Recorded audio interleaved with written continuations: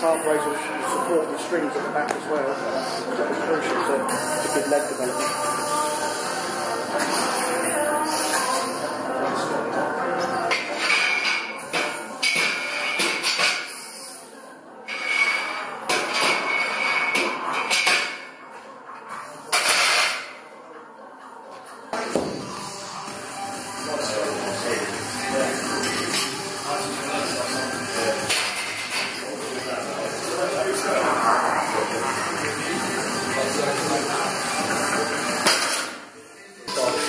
What?